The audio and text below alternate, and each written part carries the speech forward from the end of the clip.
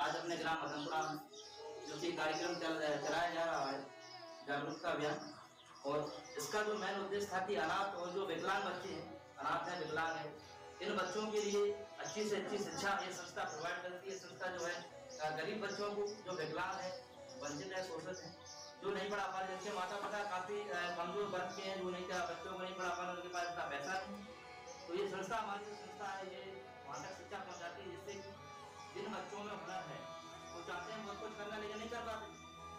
verdad